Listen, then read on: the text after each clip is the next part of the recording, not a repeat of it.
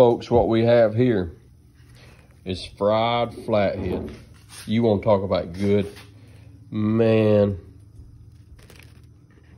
You want to talk about good. Look at that.